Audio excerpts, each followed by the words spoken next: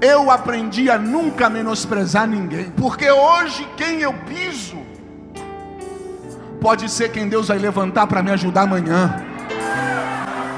Laurete, quem olhava para Davi no pasto, quem imaginava que ele poderia ser rei?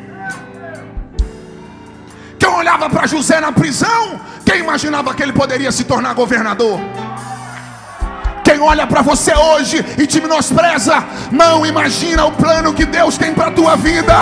Você não é o que alguém disse que você é. Você é o que Deus disse que você é. Levante a mão. Eu tenho uma boa mensagem para você. Está chegando a sua hora. Deus veio atrás de você.